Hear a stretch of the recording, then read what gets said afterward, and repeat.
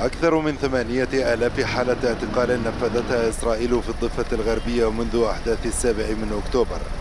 منذ العميرة واحد ممن تجرعوا مرارة الاعتقال. قضى ثلاثة أشهر في السجن خسر خلالها أكثر من 30 كيلو جراما من وزنه بسبب نقص الأغذية والإهمال الطبي والتنكيل والعزل الإنفرادي وقساوة التحقيق. تعذيب جسدي ونفسي آه، إحنا في السابق كنا مجازا وبشكل رومانسي بنتحدث عن المعتقلات آه، كمقابر للأحياء لكن اليوم بقدر أكد لك إنها مقابر للأحياء. اليوم السجن لا في أكل يكفي لأسير يعني يا دوب يكفي الولد صغير ما فيش آه، آه، لبس ما فيش محل تنام فيه. اليوم الأسرى بيناموا على الأرض. اليوم بقدر أوصف السجون الإسرائيلية بجوانتنامو العصر.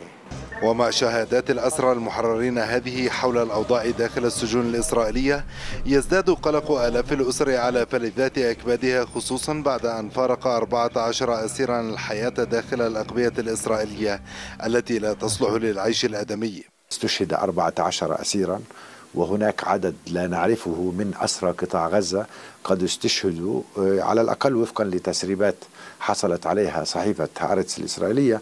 تفيد بأن 27 أسيرا من غزة قد قتلوا. آه، ولأننا نعلم أن الأسرى من الضفة الغربية أيضا الذين استشهدوا قد قتلوا قتلا إما بالضرب أو من خلال آه، سياسة الإهمال الطبي.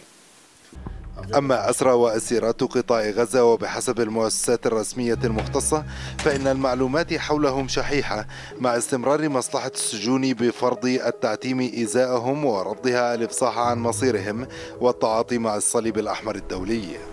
في المعتقلات الإسرائيلية يتكدس الأسرى الفلسطينيون بأعداد كبيرة ويعيشون ظروفا عسيرة فهم ينزفون سنوات أعمارهم في سجون الداخل إليها مفقود والخارج منها مولود. فالح نصير فالح. الحدث رام الله.